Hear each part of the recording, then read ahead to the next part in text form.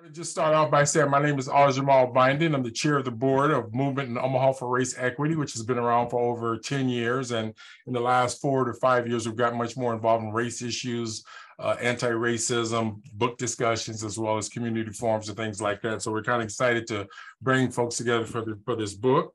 Uh, my co-host today is uh, Lindy Lom- Lindsay Lomberg is going to be talking a bit about uh, her perspective. And one of the ways that I want to throw out is that she initially approached me some months ago. She was moved by this book, Lindsay, and she said, Oh, Jamal, you got to read this book.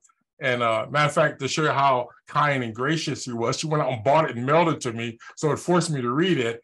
And I was equally impressed with the book as she was. And at some point, we got to talking about let's have a book discussion on it related to the other ones that we do and so on. And so she's going to be kind of like co-facilitating with me as well as me and her going to kind of do a tag team where we interview each other because we were really moved by that.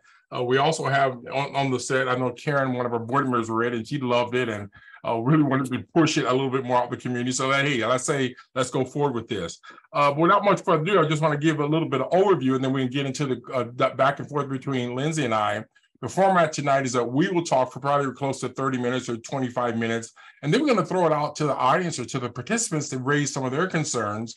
Lindsay also has put together some questions that she'd like for you to consider for those of you who may not have questions or comments uh, to bring you into the conversations. We know that this is a thought-provoking book we see there's a lot of reference to what ha- relevance to what we do here in Omaha and in Nebraska. So we're excited about it. But the write-up we, we talked about initially, it's written again by a Native American, uh, uh, Edgar, uh, Edgar Villanueva, who is also a Native American, his name is Hispanic. And he talks about the donor community and the inequalities and what happens in our communities related to white supremacy, the savior complex, and also internalized oppression. Um, he challenges us, the Arthur uh, Edgar challenges us to learn about the dark realities of donor community as well as how we can deal with the historical damages that have been done to our respective communities of color. And some of us have been talking about reparations, enslavement, and so on. So this book fits right in there. Um, we hope that you get a chance to kind of uh, make this book come alive by doing something in our community afterwards. And so that's part of that. And just want to say about Lindsay. I know she's kind of a humble person, but uh, she's been a part of our Malcolm X book series, and she's also been a part of some of our, our uh, other uh, activities. She has extensive social justice work experience. She lives in Lincoln. Uh, she's originally from Kearney, Nebraska, and for the last 15 years, she's been in Lincoln. She's very inclusive about bringing neighbors in and again making changes as best as she can at the local level. And also, she loves talking about books, and that's how we got started.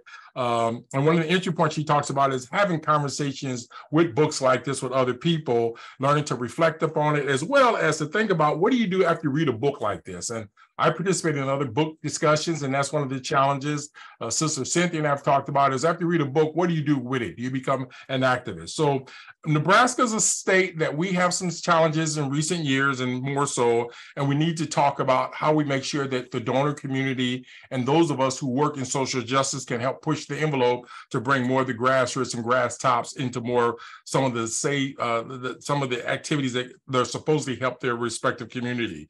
Um, so first of all, what I want to do is I want to start off, and as I said earlier, Lindsay, you may want to say just a little bit more about yourself. I didn't give much of an intro, and Aljamal doesn't need much of an introduction, not to be arrogant, but we do this a lot. But I'm a longtime community member, and we're going to stop there, as we say. Uh, but Lindsay, is there anything else you want to say about yourself before I start asking you the first question? Uh, no, just hello everybody. Happy evening. Um it's good to be here. And um i'd also just say i've been excited to have a book conversation uh co-hosting with Aljamal as he said i've been a part of some of the book talks before and i am an avid reader. I enjoy talking about what i'm reading with folks. And this was one that as i was reading it i don't know about a year and a half two years ago to start i was like ooh there's a lot to unpack here and I need to be able to digest this with a group of people. So thanks for coming tonight. And um, also just want to say, like, I'm not an expert, um, just somebody who's really curious. I also know that this isn't the one and only book that talks about, you know, the donor community and philanthropy um, and decolonization just in general. Um, but this is just a book to kind of get us started and kind of thinking in that direction and just, yeah, chatting a little bit more about what we see locally. So first, I want to start off, and like I said, there's a number of questions we have. Lindsay, when you, how did you discover the book, and why did you suggest we include it within our more organization from your vantage point?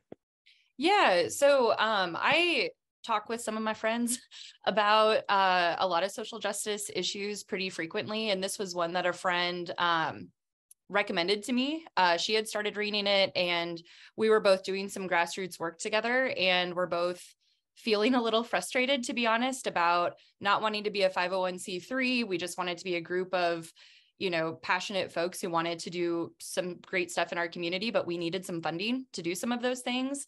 And we were just kind of coming up short. Um, so that was kind of one aspect. I've also worked in um, like a government sector, I've worked in nonprofits, I've worked in education, and just consistently see a lot of inequities play out as it relates to funding and where funding's going, how funding's spent, who gets funding. I mean, all of those pieces and so when my friend Ruth, um, she wanted to be here tonight but couldn't make it. Um, when she uh, offered this book to me, I was like, okay, yeah, let's let's read through it, let's chat about it, and see, you know, what this looks like. And I appreciate the decolonization lens as well. Um, I think we need to be more avid about naming that colonization is not a good thing, um, and that it's really destroyed a lot of people and a lot of ways of life. And so, looking at and naming that decolonizing is the way we need to go. That's also what struck me about this book, just by the title. And so that's really what kind of got me into this. And then, yeah, how it relates back to more, I guess I didn't say that aspect. Um, this really covers a lot of uh, racial inequities um, within funding. Um, and yeah, I, I just know that more really focuses on a race equity lens as it relates to everything in our society and funding really drives a lot of things, um, a lot of activities, a lot of opportunities. And so, yeah, I just thought, hey, Ajamal, should we talk about this? What do you think? And the rest is history. Yep, here we are.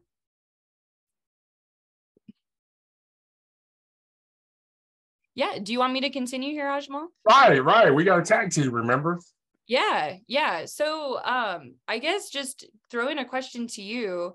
Um, the author Edgar Villanueva, um, as Ajamal said already, is a Lumbee Native American from um, what we call now North Carolina, um, who grew up without much wealth and later came into wealth um, as he moved into some of the bigger donor circles and started to get some clout. And so essentially, kind of coming from, as he says, not a lot, and then kind of rising into this different world.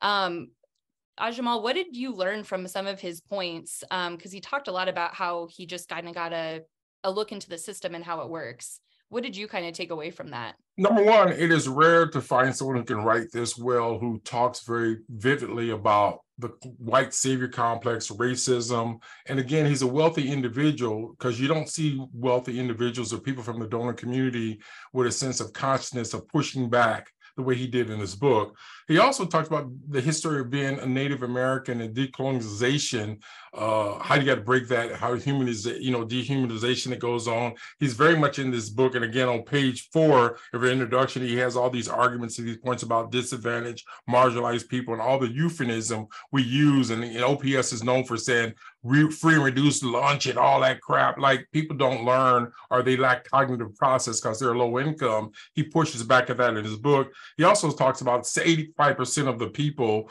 who are in the CEOs and so are white and foundation boards. And we have the same problem in Omaha and Nebraska. I like that about the book for those who haven't read it.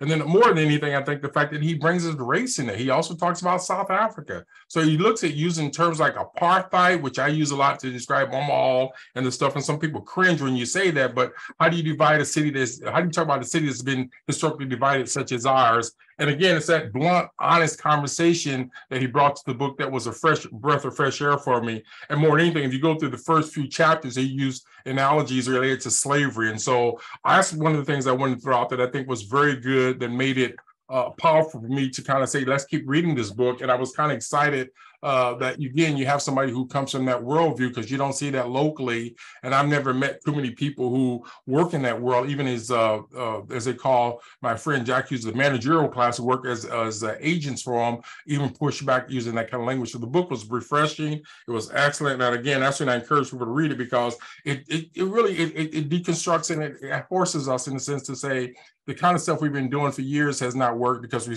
have spent millions of dollars and it just hasn't changed. So I was really excited about the way he laid that out. So that was really good for me.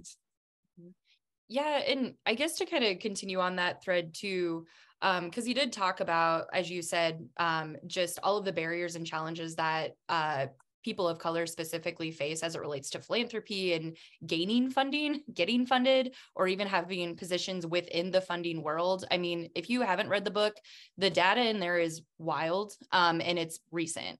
Um, well, hold on, hold on, just quick second. When you use yeah. the word wow, what does it mean in that we say it's wild, or at least you said recent, I understand that, but we say it's wild, what does that mean? Wild, uh, I'm trying to stay away from like words like crazy and nuts, but it's just it blows my mind. Okay, got you. Thank you. The data. Yeah. Got you.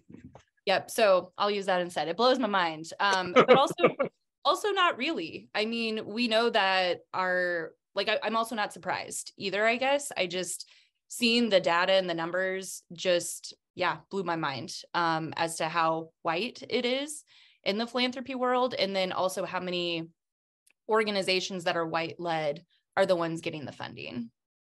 And so my question for you is locally here in Omaha, Lincoln, Nebraska, um, what barriers have you seen um, that make it difficult for communities of color to benefit from philanthropy and other resources? And what have you observed just within your work, whether in more or other aspects of your work? Yeah, and, and you know, one of the things we did agree to do today, we are a grassroots organization. We have to call names out. But again, I'm not going to call out Omaha Community Foundation, but they just got through recently appointing three white board members. And again, they have a, a minority fund and some other stuff.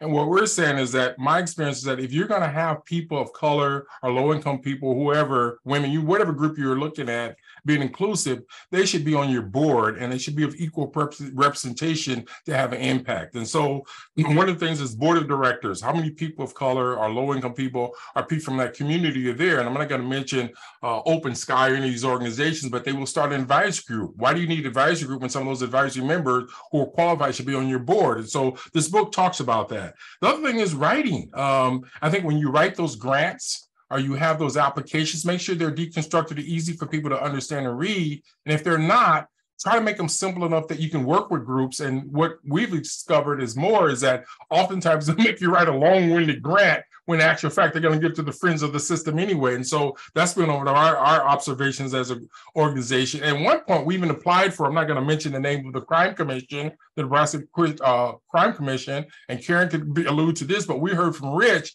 that we didn't get a, the money because we criticized another nonprofit. Again, we had a, a good grant, we was written well and all that, but again, someone we should were, not be allowed. To We were to, given the grant, Ajamal. We, we were, given, given, the grant, and it was rest- retracted from us because we criticized Operation Youth Success, which is no longer exists because again, it was one of those kind of white savior programs that had no real substantive value of changing the juvenile justice system. So, you know, again, one county commissioner made that decision. Only we know that because someone who's no longer working at Douglas County told us the story.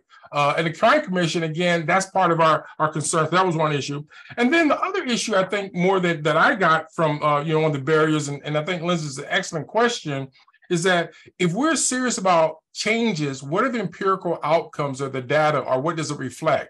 Our experience is more is that there's very few organizations that can produce data or track record of outcomes, outputs, and even some kind of uh, some kind of verifiable evidence base that they've made the changes. Again, right now you look at some of the grants, we want to address gang violence and violence. And yeah, hold it. How are you going to address that when the people work behind plexiglass doors and they've never been in the North or South Omaha? And I know when I worked at Douglas County, a lot of my colleagues had never traveled to North and South Omaha per se, except through the interstate. So to answer that in a nutshell, without getting long-winded, is that we're going to not have communities benefit from some of this, what this book is about. And let's look at the gatekeepers and elites that come out in the community and acknowledge that there's white privilege and the money, for the most part, doesn't have a track record of making outcomes.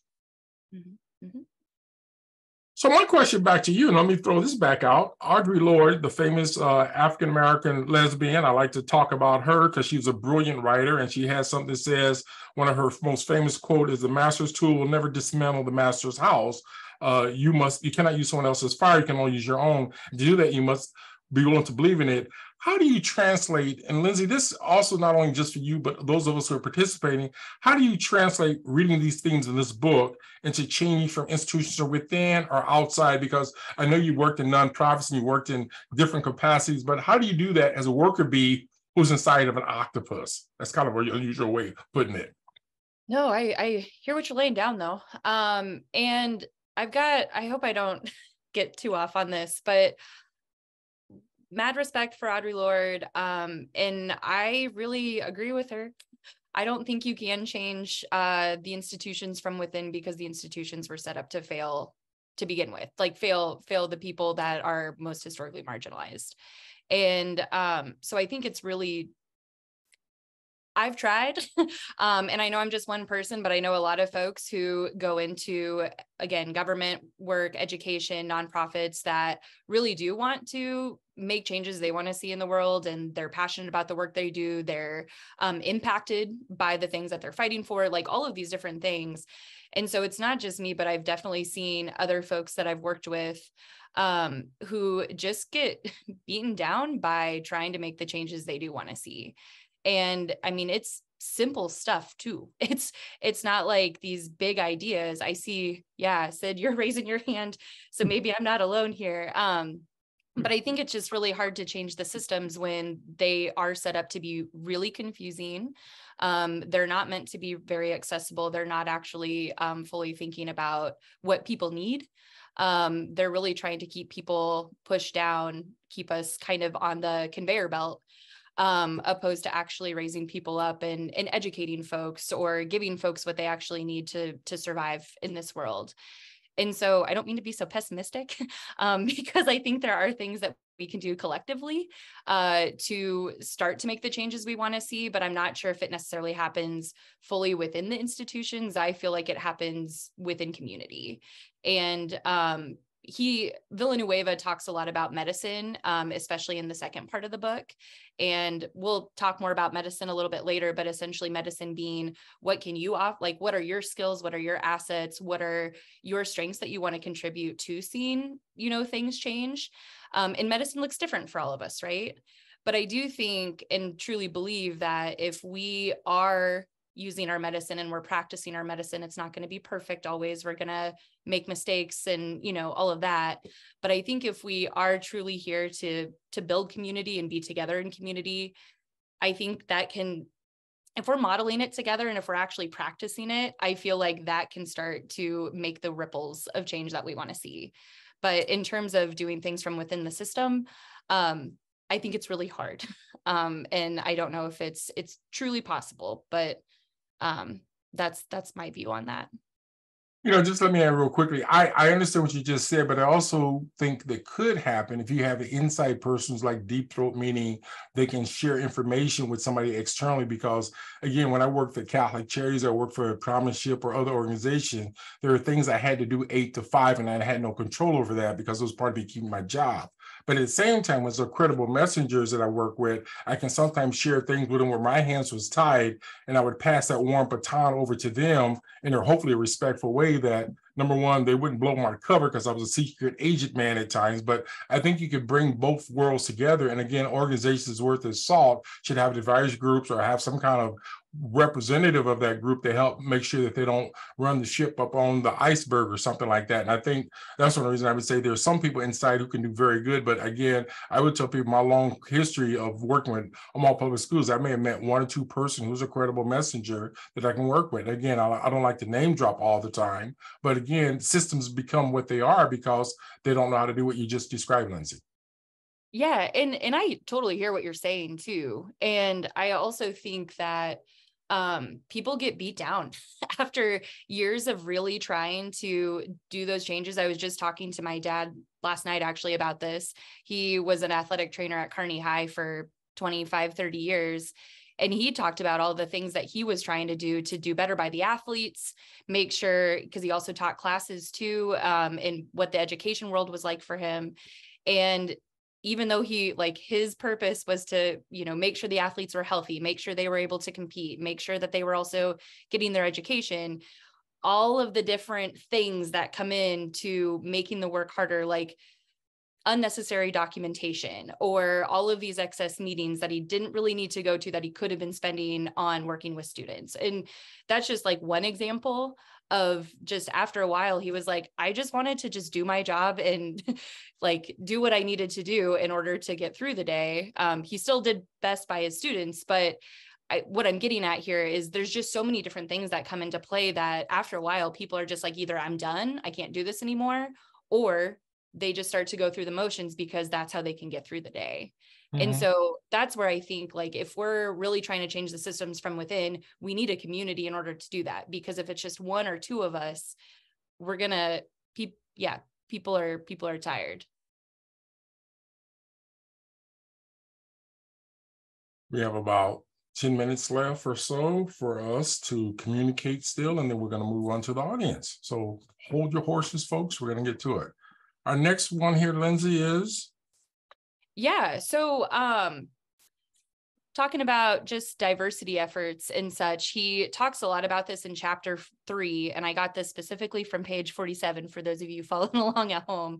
Um, but he he talks a lot about how, you know, so many folks are like, okay, well, if we're going to combat this, you know, white supremacist philanthropist sort of world, we need diversity. And so there's all these diversity efforts that are going into play. But as Villanueva describes, diversity efforts tend to turn into tokenism or we're bringing in folks of color, folks from different backgrounds, but we're not actually going to let them use their voices or we're not going to listen to them. Um, I'm just curious where you've seen diversity efforts backfire from your lens in the Omaha, Nebraska communities, and if you have any ideas or solutions to kind of counter that. You know, I really appreciate your honesty and also how we can name names. And you know, I know Keith Station is the diversity experts, and now I heard he's the chief of staff, but he's in a position working for the city. And I've written three letters he's never written back. And so you got people who've never studied about race, they have no track record of it. And DEI is a strange term to me. I don't even like the term because it gets away from racism. And we say diversity, inclusion, and equity. So what? What does that mean? Uh, and it become a euphemism. I've seen people who have the intelligence of a amoeba go to some training. Now they're experts on diversity. And again, as you alluded to earlier, you got people who are not qualified. You got uh, for example, when I was uh, teaching courses in Black Studies, I met a woman who was teaching multicultural counseling, and she got her job because she had adopted a Black baby. She was a white woman, and she had a master's degree in counseling. She told me she got the job that way. She confessed to me. She invited me to come and speak at her class once. She never invited me back again because I kind of alluded to how she got her job. Uh, the university, UNO, UNO was not serious uh, you got the so-called diversity classes out there in education. Look at the results. And so part of what we've done is we've taken diversity and race issues and lumped them all in under this inclusive stuff and this uh, intersectionality and we never deal with the elephant on the table. And so that's number one. Number two uh, i'm not going to mention john pierce's name because he used to work at creighton. He's a nice black guy. But one day i asked him for the diversity numbers at creighton. He says i don't have to give it to you because we're a private institution. I don't know how true that was but if you look at their letterhead they all had had equal opportunity commission or equal opportunity opportunities, but if you look at the numbers, it speaks to different no, uh, uh, notion. And so that's another thing. The other thing I think is probably the most important one is that we have to have accreditation of what's really, what do we mean by that? You know, we can say you live in different parts of town, that's diversity. You are a different gender, that's diversity. Again, it has no substance if we're not addressing the essence of the historical stuff that has kept people locked out in our clan effects that mentality. Again, they've brought these so-called handkerchief head Negroes up here from the South who grew up in Mississippi and elsewhere, and now they make them leaders. Again, I'm not going to call their names out, but at the end of the day, our community looks like it did 10 and 20 years ago in terms of numbers. And I'm not saying you got to have a UNICEF postcard look, Lindsay, or anything like that, but look at the results. The economic divide is becoming greater, especially since COVID-19. And so this is why I think sometimes these things that backfire, and you hear some of these racist and white supremacists we want to have qualified minorities. Well, they figure out how the qualified ones are the ones who keep their mouths shut and who have nothing to say. Again, there are people I grew up with in this community. I've never seen their name on one sheet of paper talking about public policy, social justice. I don't even know if they're literate, they know how to write. Again, my point I'm trying to say is that if we're serious about some of these issues, we're going to leave breadcrumbs for the next generation, and we haven't done it. Look at your Black Studies Department, look at Latino Studies, Native American. I see we have uh, Dr. Patrick Velasquez in the house. He just finished a wonderful, brilliant paper that when you read it, you got to put on sunglasses. You might get retina damage. But we sent that to 30 faculty members of color at the university. Only one of them responded to that. Again, we can talk about that. But again, how do you write a paper or a report about their lack of inclusion and diversity, and particularly to those who got their jobs through uh, uh, us pushing for affirmative action, having dark skinned faces in high places, and the very people who benefit, some of these handkerchief heads and Tio Tacos have tenure. You want to hear a peep out of them. I mean, there's something the governor just said recently about a Chinese American or Chinese visitor about she's a communist because she exposed a pig farm. Where are the people who should be speaking out, as Martin Luther King talks about in the 1960s? So my point is, some of this DI stuff has backfired because we've allowed these folks to get away with stuff. And Sister alluded to this. If you study history of what happened in Nazi Germany and even in the Deep South, there are a lot of people standing on the sidelines, and we cannot be those kind of people uh, when history paint us differently. So I think DEI can be a subterfuge for dealing with the real work because again, uh, sideline people and people who looked at stuff happen and didn't do anything illustrates our, our lack of, of connectedness to the past as well as to the future. Mm-hmm. We're down to that. I'm going to ask. Uh, what, uh, I think there's a question that jumps out here. Is that how do we? I think you you raised this question in some way. What was the next question you raised, Lindsay? Um, well, it it kind of continues into what you were already talking about, but Villanueva also talked a lot about tokenism mm-hmm. and how tokenism shows up heavily in philanthropy and he shares his own stories of it. He talks to a lot of other um BIPOC uh, philanthropists and um, folks who are part of the funding community about their experiences also feeling tokenized. And so I was just curious if you had anything else to say on just how tokenism shows up and how you've seen it show up. Um, and if you have any thoughts on um, combating tokenism. Yeah, and and and I, and I don't like to mention Patrick Jones. He's a white professor in Lincoln, but years ago we were talking, and I asked him as a white professor teaching Black Studies or Ethnic Studies, who, when do you invite people of color to your class? It's like me teaching a class on women's issue, and I never invite women. I'm honored to be able to do that or teach a class on uh, religion and I'm a bona fide atheist, I should at least bring other people in to help me teach that class. And his comment was, I'm a gatekeeper, I bring in gatekeeper, I bring in who I want. Well, you often you've told me what you're about, then you'll filter an agent and you're not going to allow those very people who you teach about to even have the sacredness of being in that classroom to help students learn what the real McCoy is. We have these fake people. So part of what I'm saying is when I took the multicultural class, or taught it at Metro. I also took it from Bobby Davis, who's an expert. She's late now, but she was a great teacher, had a degree in psychology. So again, I went through this baptismal uh, process of learning from at the feet of people who were well respected in our community. And so right now you go off and and I think that's part of that tokenism you're talking about. As I said, in the education department, a lot of those students will take classes from Becky's and, and white women who live in Bellevue or in Papillion, La Vista, and they have no clue of dealing with African American men or black families. And even when I was teaching social, work, not to be about me, but in order to teach about black families, you should at least have one or be around one. And when they asked me not to teach it because I didn't have a degree in social work, even though I had expertise, they hired a person who would not had what we call extended uh, family and so on. So part of the tokenism is we got to make sure that people are prepared to eat the food that they cook. And we have problems with that in Nebraska more so uh, and so on. I'm gonna stop right there. So I want to ask you a question here is Lindsay, and I go, we're getting close to the end is how can we change organizations and how can we deal with some of this? I'm throwing out at you. How can we uh, make our help. And again, it's a group question. And by the way, there are a number of questions that Lindsay put together and we threw in the group chat. But I want to ask her that question before we got into uh, switching to the total group conversation. Yeah, and I'll. I know some of you joined maybe after I had put those in the chat. So I just put in some more questions that you can think about, or if you have other thoughts before we get into the group conversation. Um, these are just to get us thinking about stuff a little bit.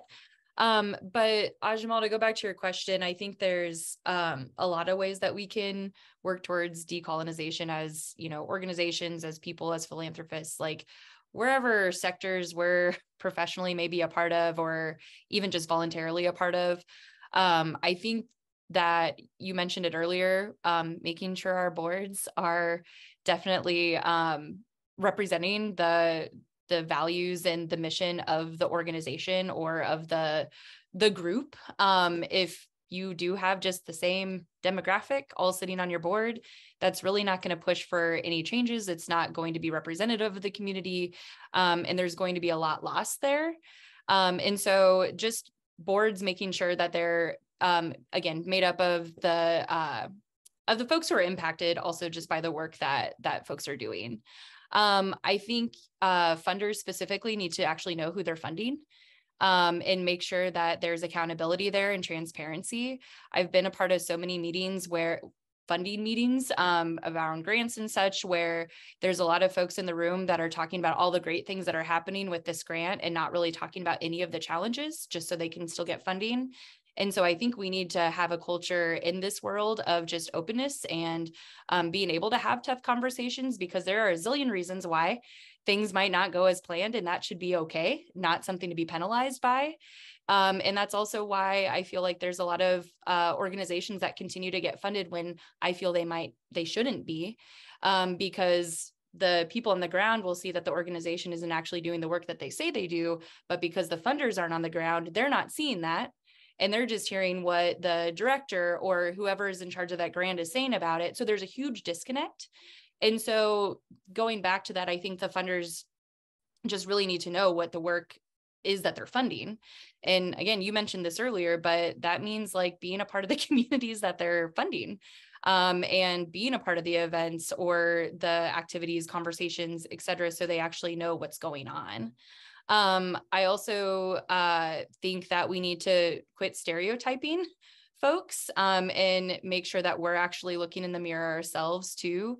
And so, for example, um, just how we fund and what we fund and so a lot of the funding goes towards programs and supplies and mm, that's literature books in which those are all great but they don't really go to fund people um, and so either people doing the work um, or people that are helping do the work that maybe need some extra compensation um, to be able to help do some of those pieces like advisory groups of impacted folks should be compensated for their time in a lot of ways. Um, funding also doesn't typically cover food. Um, and food is also as we know like the number one thing that brings people together is sharing food. And so why are these things not being funded and the thing that i was meant about stereotype like I, I hope people stop stereotyping their clients or the people that they're serving um, I've been in conversations where we're trying to fund a position that can help bring people together. Um, and we want to fund somebody who's a part of the community, yet the salary is only like 35 to 45,000. And when there's pushback on that of like, no, that's not a livable wage. We need to be offering more to these folks who are doing this work. It's like, oh, no, that's fine. What's that is a livable wage. And it's like, this is also coming from somebody who's making six figures who hasn't lived on a $35,000 a year salary. Like there's, so there's just this huge disconnect and then a lot of assumptions that are made. Um, so I don't know, I'm kind of blabbery now, but I think that there's a lot of different things that folks could do um, to just make sure that we're really moving towards decolonizing how we give wealth opposed to keeping a colonized, a colonized and really white supremacist mindset. Well, good. I tell you, that gives us a chance to make the transition as a timekeeper. I'm not in the matrix, but uh, th- th- that's the key person there. Okay. Uh, we're at our 30 minutes. Uh, two quick points I want to say, folks. One of the things that I drop names all the time because I can do that and I don't have to worry about somebody looking over my shoulders. But secondly, sometime in Nebraska and in, in our communities and elsewhere, we have this niceness where we're telling the truth and yet we're afraid to name names. And so at the end of the day, people don't grow from their mistakes because we let them get away with stuff. And so, again, take me to court, sue me if I'm lying. But again, these are things that you I couldn't make up. So one of the things I encourage folks, if there's a situation, particularly from an institution or you're talking about a government person, you can be, uh, you have a sense of uh, uh, immunity from government officials. You can call them eggheads or whatever. We don't like doing that, but some of the stuff that they say and do, they got to be called to the carpet. So I'm going to stop there and I'm going to throw it out. And I see a hand is up from Sid. So uh, Mrs. Kelly, you want to say something? And I also know we got some other heavy hitters in, in this session. So we got an hour, or at least uh, close to it, to let y'all throw out some heavy light. And uh, Lindsay and I are going to step back and become the moderators of True Sense. So go for it.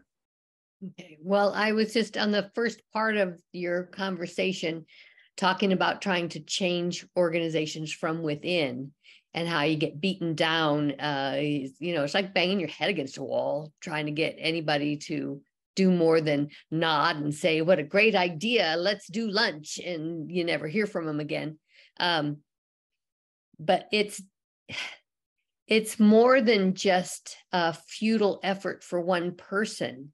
The system is designed specifically to keep you down. If you are one who wants to talk about um, raising salaries of the lowest paid or you know why does this group get this and this group doesn't those kinds of things, then you are not on any kind of a fast track to get to the top. In fact, there's somebody already documenting every little mistake you make so they have you know a path to get rid of you so to change from within um, it has to start from the top down and the people who want to make the changes can't get to the top because the people at the top don't want to be toppled it's designed that way and it's somebody may not be thinking it directly, uh, but their behaviors and the rules,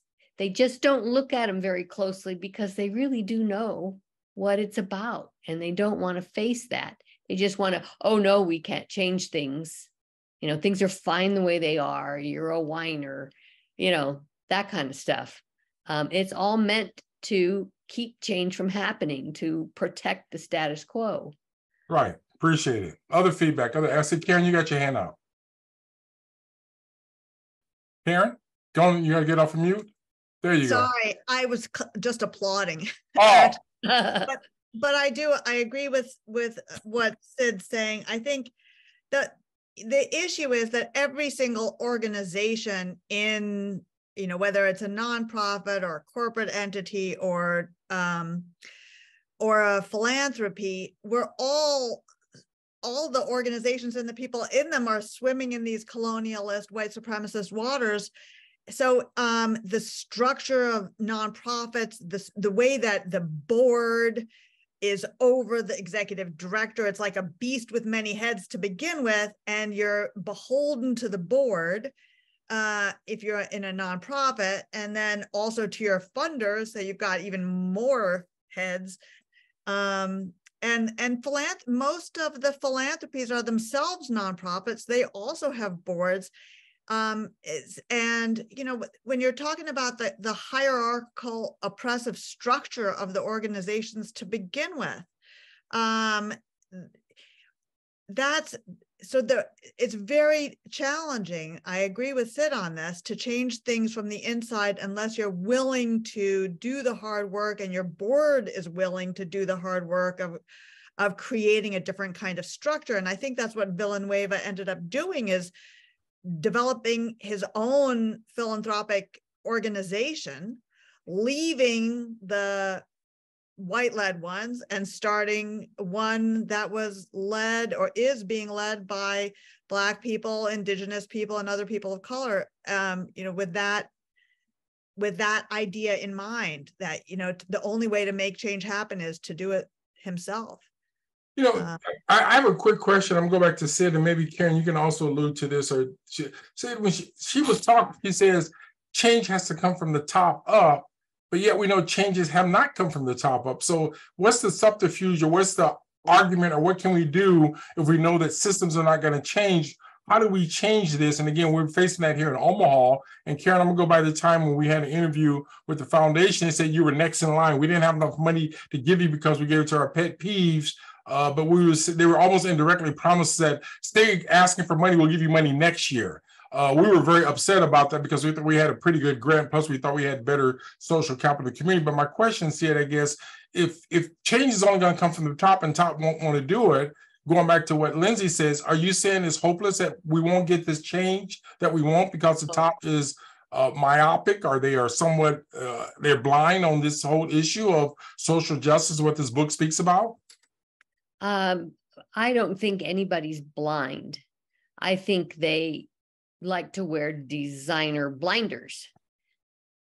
um, uh, and when I I don't mean to sound like it's impossible or a lost cause or anything like that. I'm just saying it's no wonder people get burnout and leave a position before they've been able to accomplish anything because they have been labeled as troublemakers and therefore they can't advance professionally in their career to get a little more power to be able to make okay. changes. Gotcha. I understand. Um, Thank you.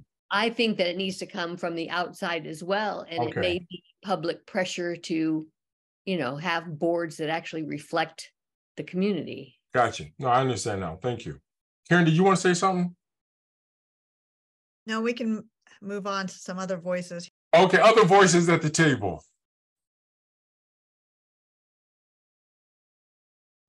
Yeah, Jamal, I just wanted to ask if you guys are familiar with some of the large foundations like the Omaha Community Foundation and whether they're aware of any of these kinds of writings and about how they could be uh, moving towards making their boards um, much more, I mean, like pushing sixty percent more representative of the populations that they're serving here.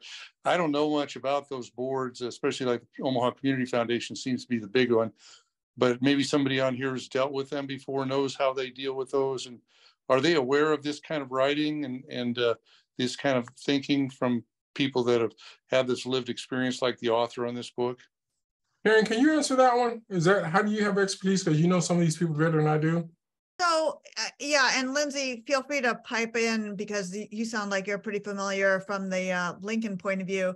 Um, so I think that that there are individuals within some of these organizations and sometimes there's even leadership and i think that uh, there there also tend to be big bureaucracies um, and as we all know, bureaucracies move slowly. These large philanthropic organizations uh, that have been around for years, um, they're they're hard to you know they're hard to change, and um, and then there are also some uh, family foundations that are well known in the area, and uh, there that's a different model altogether because a family foundation is literally led by a family and the people in the family get to pick and choose how they're going to do things.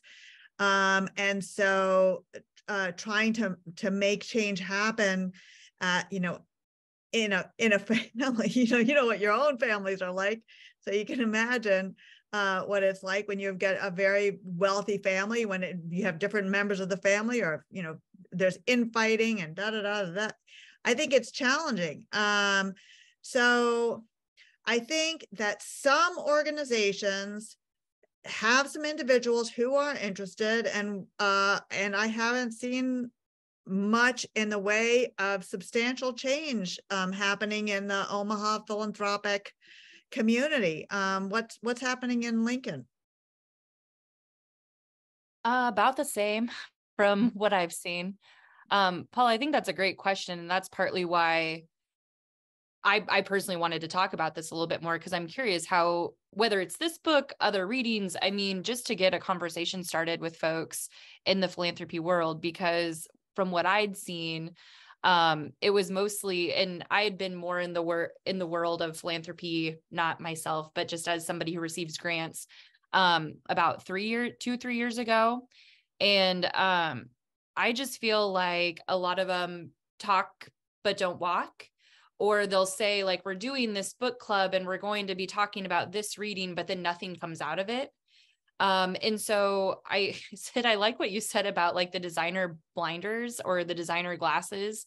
Um, because I like that spoke to me too. I think that people aren't fully blind. I think they just don't want to do the tough work to really move things forward is maybe one thing. I think some people don't believe it. Um, you know, there's a lot of pushback around um white supremacy and especially white people naming that white supremacy is a thing and colonization is a thing. And so again, I'm kind of going off on a different tangent here, but um, long answer short, no, I don't think there's a lot of uh, the real work going on in Lincoln from what I've seen, at least. Yeah. Jack, Jack what do you has his hand up. Jack? Jack, we can't hear you. You're mute or something, or some reason. I don't even see a mute button there. Yeah, it doesn't look like you're muted, Jack, but we can't hear you. We can't hear you. Paul, I was gonna, while Jack is working on it, Paul, I ask you to push back at you a little bit. In the work that you've done, and headphones, Jack. is Jack back on now? It might be his headphones. Okay. keeping- Jack, Paul, just quickly, in the work that you've done, has somebody ever approached you and said they want to fund the work that you've done as you've done as an individual in the state, whether it be with your work with the correction, uh, the poverty issue, all that? Have anyone approached you and made donations, asked you how they contribute to that cause or anything like that? in the work, and I know you've been doing this for a number of years, but Paul, if anybody ever came up to you and say, we want to flatten the pyramid, we want to support your work, have they handed you a check or anything on any of the money that you've done as an individual? Well, you know, I, I was just thinking, you know, we were talking about boards and stuff. Um, I had a, uh, I spent a, quite a bit of time down at City Hall trying to raise attention to child poverty. And we actually put a panel discussion together and had pretty good participation. Well, we had attendance from city, city uh, council and state legislators and county commissioners. And um, I really wanted them to hear the voices of people that had experienced poverty. And I picked, oh, I, I talked four people that I got to build relationships with that had extensive life histories in poverty. One guy had been incarcerated and worked his way out. Um, another woman had built a really great company after going through all kinds of mental health and poverty issues. Another one was in tears, talking about raising her child in poverty. And um, so, Paul, what I, was, what I was asking specifically, has anybody ever donated money to any cause that you worked on in City Hall or all the work you've done? Has somebody walked up from the donor community and say, Paul, I like the work you're doing. We want to help fund that? Is there anybody who's done that that you're aware of in, in our community or in our state? No, no, I, and that's not really what I'm not a I'm not somebody that's from the community looking to make those changes. I'm looking to empower people in the community.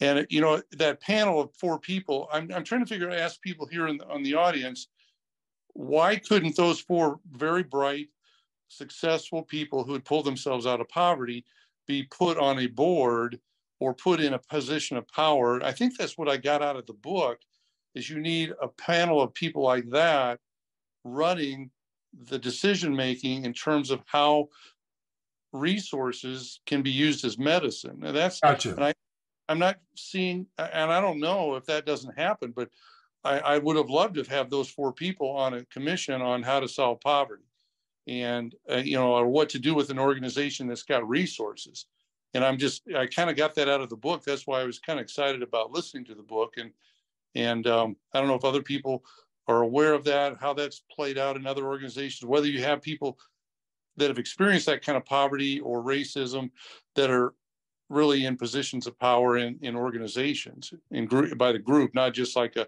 one representative, but actually large groups of them. Yeah, Paul, um, just speaking from my own experience, I'm I'm on a board here in Lincoln. I'm on the NeighborWorks board, and I was somebody who got my house through going through the program at NeighborWorks. Um, and like a third of our board, a third of our board has to be representative of the community. And what we found to be challenging too was um, the typical board schedule and structure, and that was not very isn't accessible um, we have a lot of folks who maybe work a couple jobs, have kids. Um, our board meeting is around dinner time. And um, when we went through like our board culture survey with the NeighborWorks America, they told us that one the big thing that we were dinged on was engagement from the board and board members not showing up to these meetings on a consistent basis. And a lot of us had some pretty great pushback on that of like, well, there are other ways to be engaged besides coming to a meeting. People are showing up in a lot of other ways. So i guess what i'm saying is i i think that's a part of the white supremacy culture too is the way that boards function and if we could get away from like the traditional way of functioning as a board and leave room for other engagements while still being on a board and still being able to make decisions because i know the meetings are where the decisions happen right? There's there's like that aspect that's real. And are there other ways that people can be engaged that also help fit their schedule? Because we know that people coming from different backgrounds have different schedules and they can't fit into this cookie cutter way of doing things. And well, so it kind of reminds me today of when um, I talked to the guy at OPS about truancy. He was on the school board and he said they're working on ways to try and get kids to show up. And I talked to somebody a while back that said, maybe we should pay them. Um, and I thought, you know, that might work and board members yeah okay you got a board members of people that have experienced poverty let's have them work for free that sounds like a pretty smart approach to things um, and so i can see where like that group that i had they actually are pretty successful financially now but if you have people that are actually experiencing poverty providing resources to them as part of the organizational structure paying them to be a part of it seems like it would be a way to do what he's talking about in this book. But um, that just got my brain thinking about those things. So Well, you know, the, it speaks also to ENCAP or used to be former GOCA, Greater Omaha Community Action, where they were a cap agency and they had to have like a high percentage of their board members to be either low income or from the community of certain sorts. I know Charles Drew at one point, as one of those uh, community health centers, they had to have a certain amount of people who were users of their services, which means some of them had to qualify uh, to be low income. And then, of course, legal aid back in the day used to have a lot of uh, requirements as they got their funding to have consumers or people on their board who have utilized their services. A lot of these nonprofits have gotten away from flattening the pyramid. So you don't see a lot of that, and this is why when I hear listen to John uh, John uh, over at uh, Heartland Family say that in order to be on their board, you got to raise two or three thousand dollars just to be a board member. Well, who can raise that kind of money who's grassroots and who work eight to five or who's not working at all? And so you got this elitism that goes on in our community. So, Paul, your point is well taken. If we could start to restructure some of these elite boards and make sure they're not apartheid boards, and also when I use the word apartheid, I'm also talking about economically, uh, somewhat ge- geographically, where again, you got these uh, people who come in and fly in and they don't have no uh, allegiance. I know back in the day, uh, when I was at, a, at my non, one of the nonprofits, they would have different board meetings rotate at the different sites in different parts of the community. Uh, we don't see a lot of that. You know, some boards, I'm like I mentioned, an organization that serves certain people of color, they won't even meet in their building. They'll meet elsewhere away from the community. What does that say? Habitat for Humanity, again, Lindsay, going back to your point, in order to get into some of those programs, you have to give sweat equity. How do you take some of those sweat equity people and put them on your board of directors? Because right now, Habitat doesn't have uh, grassroots on their board, at least when I can see looking at the names and so on. But those are the kind of questions I think the book speaks to. And I think that might be what the pushback to help us make this a realization here in, in Nebraska. Let me stop there. Oh, Other stop. feedback, other reactions.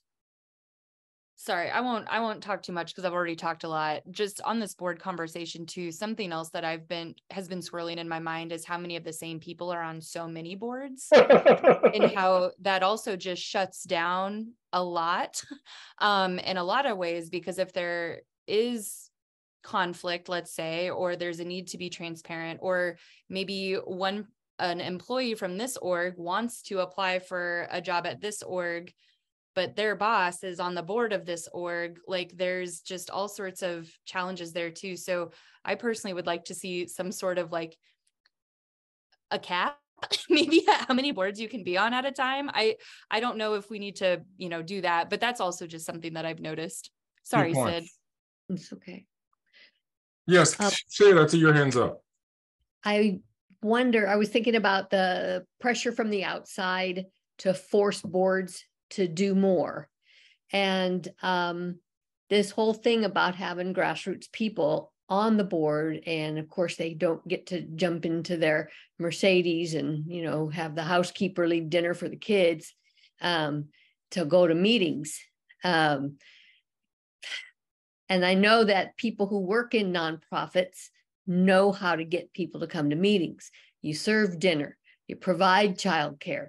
You know, boards just have to do that. And I think, I wonder if we couldn't mount some sort of campaign to pressure boards publicly to put up or shut up. You know, DEI, show me, you know, and what are you doing to make that happen? Well, we put somebody on the board, but they never came to the meetings. Did you ever ask them why? You know what I mean? I mean, publicly, billboards, you know, talk on public radio, whatever. I wonder if we could do that. I appreciate it. Good, good feedback. Good feedback. You know, go, switching back a little bit to the book, one of the things that I found uh, thought provoking is that he did lay out some empirical facts or data that you can do to show that you are there. And one of the things, going back to some of the stuff that Karen and I worked on, is a matrix. In other words, we sometimes think we're doing this, but if you really do a, an audit, many of these organizations don't have that. And then secondly, uh, have you ever done a climate audit? In other, words, what is the environment like? Is it toxic? Is it, you know, inclusive? Do you feel welcome when you come there? And again, Sid, going to your point, you may bring one person on and they'll stay for one, two meetings. But if you're talking gobbledygook or speaking some kind of language that they don't understand, and one of my experiences when I served six years on the Chicano Awareness Center board or Latino Center of the Midlands board, uh, I was the only African American for many years on that board. And it came because United Way was pushing uh, organizations of color to have more whites and different people on their boards, but they wouldn't do the same for the Jewish community board that they were funding or some of their own organizations. So until we hold the same barometer or litmus test for all of our boards, and particularly in a city such as Omaha, which is 33 to 35% people of color, we're going to get what this book talks about this uh, great white savior stuff. And again, what Paul alluded to earlier, not bringing the people out of a long term poverty and to be able to be self sufficient, do for themselves. So, yeah, the book speaks to that to me also. And I wish there was a way we can get people in the donor community to read it.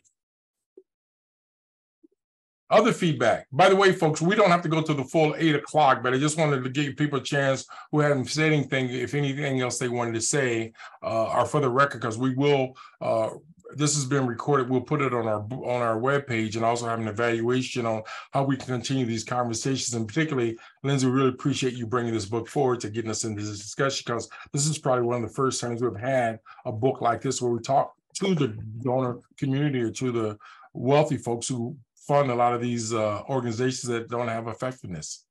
Is there anybody that's ever seen a plan with a company or an organization where they actually have a pretty lucrative compensation plan for board members so they can actually bring people from with lived experience uh, wow. into the that ever uh, is that just i've never dealt with boards before. Uh, no one's ever asked me to be on a board. Well ajmal kind of alluded to it one time but that's okay. It, but it's it's not my bag and but i'm thinking with people with lived experience in a group that's working on the problem that they're experiencing paying them and compensating them significantly to show up on a regular basis would be very valuable.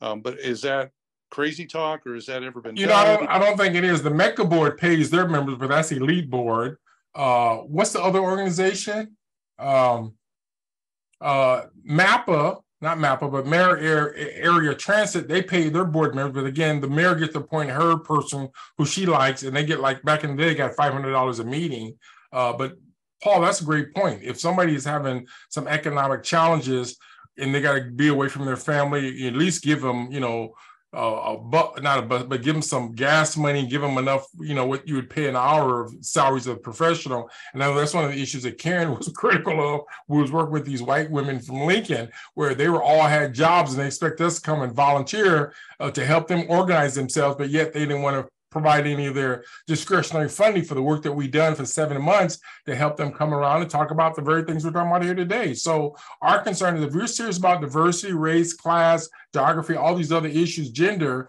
sometime when those groups are not there, let's figure out a ways to reward them. And it doesn't be a lot of money, but just something, Paul, that like you said, it, it, could go a long ways to help somebody who's a credible messenger versus us saying because you belong to that group, you should volunteer. They don't volunteer in their jobs. Yeah, I mean talking like a twenty dollar gift card, you know, um, to Walmart or to you know something that each time to really make it worth something that helps them. Plus, making sure there's childcare available, um, but you know, getting and then getting foundations to help provide funding to other organizations to get resources to participants so that they can actually drive the organization. I think wow. of like I volunteered at Heart Ministry for a year I went there about once a week, but all the families I met there and any number of those families could be brought into a, a role like that quite easily. But you sure want to compensate them somehow to make it, um, you know, productive for them and for for you. You're getting a lot out of their participation. You should compensate them for it, and we would get tons of good feedback from somebody with those lived experiences. I, I work with people 17 different countries and each one's going to have a different important perspective but you gotta you can't just expect them to show up um, one thing uh, that i have noticed is that funders do seem to be more willing to um, allow you to budget for um, paying people for their lived experience. So for example, we got a, a grant recently from uh, Humanity, Nebraska Humanities, Humanities Nebraska. I'm never sure what order it is, but uh, in our budget, we included funding for uh, to to pay for people to share their lived experiences in these kinds of conversations like we're having today. Um, and so that is something that seems new to me. Um, that that that's like a you know a line item in in the budget that now is allowable and wasn't so much the case even just five or eight years ago. Well, I think go to the funding organizations and talk to them about that strategy, then they would maybe they could start making those accommodations because that's what I think the message I got out of the book is there are huge amounts of resources out there in these foundations, but you know unless it's guided by the right um, people, it's it's it's not it's that whole colonized approach that's not ever going to work. You know, the other thing we got to be sensitive to is I was in a, a, court improvement project where the Supreme Court brought in a number of Native Americans to talk about how the court treated them. And everyone who attended that meeting, they gave them a gift card. I don't know if it was 40 or 50 dollars. I was there part of my job, so obviously I didn't take it. But you got to be discreet about who you're going to give the money to because there's some folks who definitely are on their job or their middle income, they don't need it. But if you can pigeonhole or find the very people you want and say, hey, this is a gift card, but I want to be careful with that because more more times than than many, we need people to be there more than just one. So uh, Paul, my point is someone who have lived experience, they can probably help legal aid, Humanities Nebraska. They can have all these organizations that fund different entities and they could be credible messengers more than just one meeting. But again, not that they're professionals, but they're people who can say, hey, I know the lay of the land because I live in that community or I experience economic hardship or I have a hard time getting across town through public transportation. Uh, those kind of people we want brought to the table. And some of these people volunteer anyway. But again, I think we got to be careful not to take advantage of them, which is what many of these nonprofits will do. They expect the poor and people of color who have been fighting these struggles to do it out of goodwill when at the same time they're getting paid and making money and this ARPA funds or this COVID-19 funds shows us exactly how the carpetbaggers come out of the, the, carpets and they basically have never set foot in these respective communities and so on. So those are part of the issues I think this book speaks to and we should continue to lift that up and talk about it as we've done so tonight. Any other once feedback? You get, once you get uh, people in the room, then how do you protect them from being shoved to the side. Okay? Someone has to, someone has to be the ambassador. Be quiet. Beg your pardon, Cindy, say against. I said they will expect those new people. You know, we gave you a stipend and you got a meal and your kids are okay. So just sit there and be quiet. We have to challenge that. We have to actually, matter of fact, just look at the minutes of many of these nonprofits, whether it be legal aid, humanities, uh, Habitat for Humanity, uh, community alliance and all of them and you can see that oftentimes their minutes or their board minutes don't reflect the very things we're talking. So if you got board minutes and it's documented you would know if they've been pushed to the side and we actually include them. Jack i see your hand is up. Yeah just wanted to do a mic check. Can you hear me? I hear you well. I hear you well. Your mic is working well. The guide the mic guides are with you. Okay uh, if i can speak for a moment uh, the only way going back in history quite a, a long ways, uh, the only way that Karl Marx was able to do his research and writing was because he happened to stumble across a factory owner by the name of Engels, who funded him for pretty much the rest of his life. Uh, there aren't that many people around who are willing to fund challenges to the system. Uh, I think it's it's I think personally, I think it's a big waste of time to try to figure out how to get money to uh, just to take down the system. Uh, that's it, it isn't going to work that way. I think what needs to happen is to begin doing things that are challenging to the system, and hopefully uh, there may be people with at least a little bit of money who can who are willing to fund that that kind of approach. Gotcha feedback. Thank you. Other reactions? Boy, we're within an hour here, folks. Any other no other comments? Any other things? Because we could wind down, uh, we can go from there. Well, can, can we, um, do, do people here in this, I know this is a small group, but, um, uh, do we have some potential next steps or other new directions we might be able to go in with this conversation to extend it and, uh, you know, see what kind of impact, um, we can have? Well, Karen, let me ask you that question directly back. When you first started, you thought at one point we would get the donor community or those people who give out wealth or whatever they give out uh, to read the book. Would it be a possibility that more being, uh, again, under the direction or support with Lindsay, direct a letter to them and say, hey, the very questions we raised today, how many people on your board of directors who are either direct recipients or live in those target areas that you fund? That's one. And then number two, how do you know the effectiveness of um, not doing this great white savior stuff? Is that a possibility that we could do collectively? Yeah, and I think, um, you know, as I was thinking more about it, I think I, I like the idea of uh, outside pressure. And I think the best place for outside pressure to come is from the people who are not getting funded or who are getting funded. So if if we could get some executive directors and board members and uh, you know people representing philanthropies to come to the table, a combination like that, a, a mixed group, as it were, um, so that you know, so that philanthropists need to answer to the community that they're funding at the same time that they're having the conversation. I think would be the you know a possible way to do it. Thoughts on that? By the way, that's how the Shirley Temple uh, Theater got built. Was that the the the criticism that came about what happens in the arts community got them so riled up that they came back and said, "We'll pull it up instead of shut up." And uh, that's how they got raised those millions of dollars. I haven't heard nothing from them since the building's been up there. But my point is that came out of sense of frustration of how the North Omaha or communities of color have been ignored historically in Omaha. So that is a good example of that model working.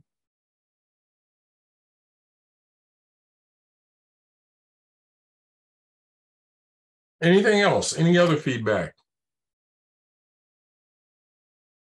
Karen, I just I appreciate that question and um just appreciate the the next step that you offered too. Um I would definitely like to continue this conversation because I think there's probably a lot of different avenues we can come to and a lot of different ways that as as Villanueva says like we can use our own medicine to really try to chip away at some of these systems and that's a question that that i have that maybe we can like think about and i don't know if we can come back together what that looks like but just what is our medicine on this screen as individuals and how collectively can we use our medicine to um, do ideas like you just suggested or maybe others are like ooh that's not my space but maybe there's a different space i can kind of come into. And so i i think coming back back together at some point to to chat a little bit further um, would would be really rewarding and just having conversations around what next steps actually look like after we maybe have time to process and yeah just think through things a little bit more. Yeah. You know we're, we're getting close to the end and i want to be conscious of people's time and even the enthusiasm or at least the the bandwidth for us to do this. But I, I heard very clearly that there is some feedback we're going to have on our webpage, or at least have part of this process and evaluation. But we'd also maybe go back to your point, Karen, you raises how do we get some some movement uh, based upon some of the comments you made, what Paul has made, and other people, Lindsay, so on and said so on, and do something with this. And then I do think going back to this conversation, even the book, uh, at a later point with maybe some different players at the table how do you implement what has been said or make it a real or as they say make it plain so that we can say something came out of it? And again going back to jack's comment sometimes systems are not going to react a certain way and so you got to come at it from a whole different level or, or not even play game with the, the fakers We're not going to do anything. So i like your point jack that if you understand karl marx part of what he was able to do what he did is he got funded by someone to do what he did. And so a lot of time grassroots folks don't get the, the luxury of sabbaticals and, and and all those things that help them to be creative. So really good point. Anything else uh folks that we want to say before we uh close out? I know lindsay did you want to say anything or anyone else uh, as we close down? Because i know we're at that point almost. Well i just cynthia did i see you unmute? Were you going to say something? Uh, well, I was thinking of the one board that I'm on and one of the requirements to get some of the grants that we pursued is that they have to have low income people on the board. And they have to have a diversity of religions. So it's, sometimes it's the grantor of a grant that can help create a board that has more diversity. Very good. And by the way, I know back in the day, the Buffett uh Foundation, not the Fund, but the Sherwood Foundation put a lot of pressure on nonprofits to make their boards much more inclusive to the LGBTQ plus community by saying, do you have policies? Do you have people on your staff, on your board? And you'd be surprised the number of people and organizations that made those changes because they wanted some of those funds. And I know at PromiseShip, it was one of those policy discussions we had uh, I do know that NAM got a little bit more support uh, as an organization because they also advanced that as an organization or you're a member of NAM, things like that. So if you can get those donor communities use that carrot a little bit, it also can help change the scope of some of these organizations we're talking about. But I really like that. Thank you. I, I would add simply that um, I've been on this particular board since 1917 and I just renewed committed I'd be on for three more years. But anyway, um, I've seen people come and go who represented that diversity and the reasons they couldn't come to meetings was either their classes changed in school or their kids needed to be taken care of or they didn't have transportation. So those things you talked about were of interest to me and I'll somehow get it to the group I'm with. Good. The other thing, Paul, going back to your point that was made earlier, is that sometimes you have to help train people on some of the things how to ask tough questions on board. I've been on board where people sit there as if they were an icon or they wouldn't say anything. And so it's one thing to be on a board that deals with fiduciary issues or community issues, but again, you just don't want to take somebody right off the streets without having a little bit of understanding the climate of that board. And back in the day, United Way had the Heartland Blueprint, they called it, where they actually trained grassroots folks to be on boards, usually training. They really orientated them on what to expect. And some organizations actually incorporated some of that, but it went by the wayside. United Way retreated and stopped doing that. And I don't know why, but again, it was a way of making sure our boards in Omaha particularly were more diverse. But again, these are the conversations hopefully we'll see happen more in our community. Anything? Well, uh, Yeah. Jamal, I think it's that thing you keep talking about um, when it comes to getting the community involved in in discussions like you had with um, Mr. Riley and getting, you know, it's not just board, it's not just organizations that need the community input. It's it's governmental organizations, but there's definitely no way that they're going to pay for. Uh, there could be though, maybe if it, if there's a legislation put into place where uh, community um, advisory councils are paid to consult with like the director of prisons and you have to have people with lived experience on that advisory council there is one for solitary confinement but nobody's really compensated for it but you put people on a board like that that are going to meet with the prosecutor or the police department or or the director of corrections or foster care build it into legislation it can be set up I like that. Linda, I see your hand is up, Linda. Linda? Yes, yes. Um, I'm not on a board and I don't work with boards, but I was struck by the, uh, someone's comment about uh, looking at ourselves in the mirror. And I've been a Unitarian for almost 60 years. And our denomination is struggling with um, how we reach out to uh, communities of color because we are mostly white people living in white silos. And um, I'm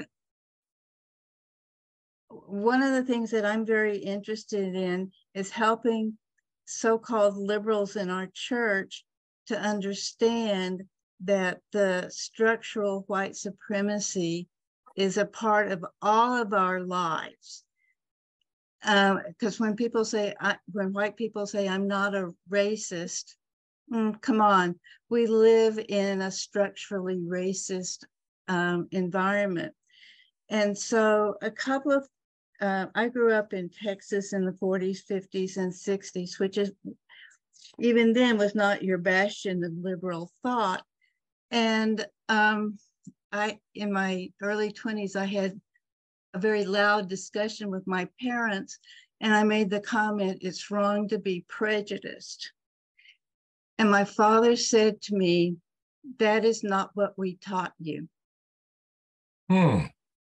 Wow. And so I've been processing that conversation for the last 50 plus years. And one promise I made to myself was that I would sit down almost daily and try to do a self examination of hidden racism in my life.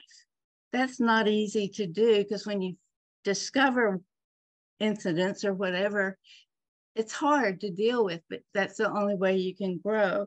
And I wrote a little essay to try to process some of this called The Spanking of Linda about a series of events in my growing up years where I broke the color line out of you know just being an innocent child, whether it was drinking from the colored water fountain in Sears or sitting in the restricted seating area at the bus station.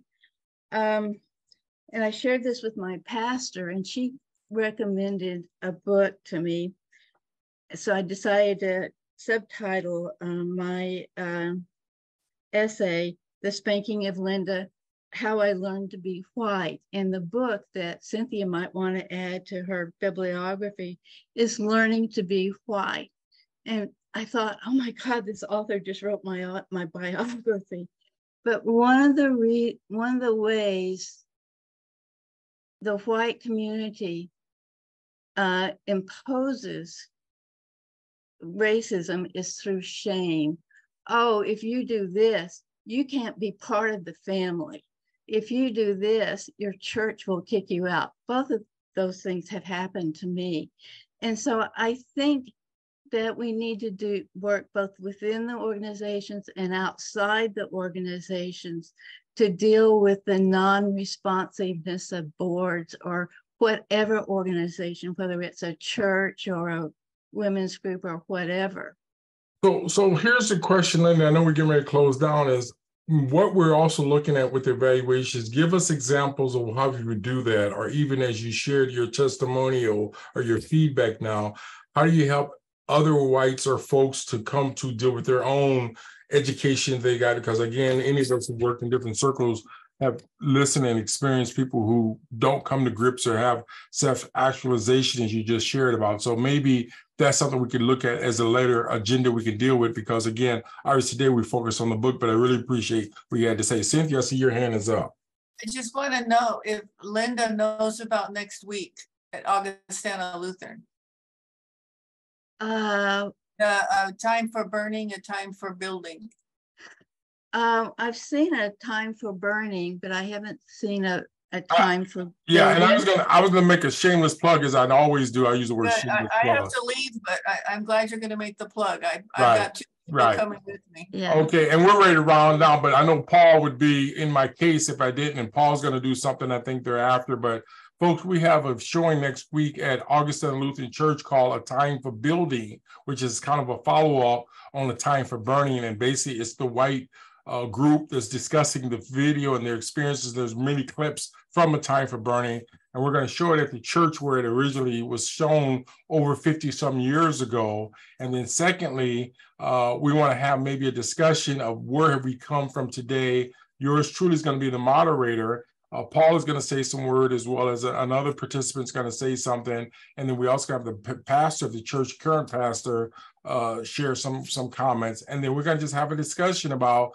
where do we go from here after watching that video. So that's next week Wednesday uh, from six o'clock to eight, and the video is available on our website now, and then we will show uh, the whole clip video from six to seven, and then start the discussion thereafter uh, and the discussion should last probably about 30 to 45 minutes uh, after the introductory remarks from the people who will talk right after the video. So that's something that MORE's per, per, per, uh, co-hosting uh, next week with Augustana Lutheran Church and others. And Paul is the one who brought it to my attention. And so really amazed with that video and hopefully that'll help us continue this conversation. Hey, Linda, if you, Linda, can you see if you can spread the word about that to your pastor? Because I thought you First Unitarian would definitely, they've already done some work uh, across racial lines with, uh, I know, uh, First United Methodist or uh, Clair Memorial, I think. And Yes, if- Memorial is our sister church. And uh, so we've done some joint activities together. I'm on the Beloved Community um, uh, Social Justice Team, so I can uh, Well, promote well, that. And we can share with all the folks we need to. But yeah, let me wind down and say, folks, I thank you for being here tonight. We're right up on our time. Uh, it's been a, a, a robust discussion on the issues of the book. Uh, appreciate uh, uh, Lindsay bringing this to our attention. Appreciate your participation.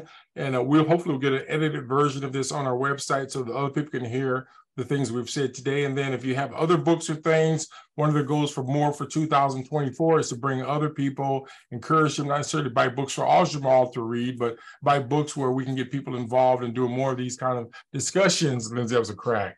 Uh, for people to bring more discussions about books that help us to be much more avid readers and hopefully deal with social justice related to reconciliation, race issues, and as Paul would always say, repentance and all the other good stuff that goes with healing. So hopefully you can join us again next time as we always end our show.